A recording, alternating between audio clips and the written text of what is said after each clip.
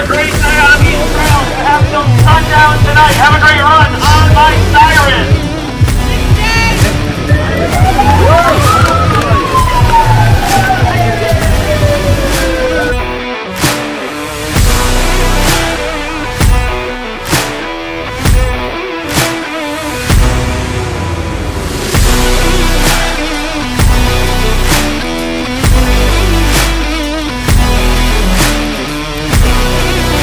But for my fifth lap, which is my number one goal, is to make that 37.5.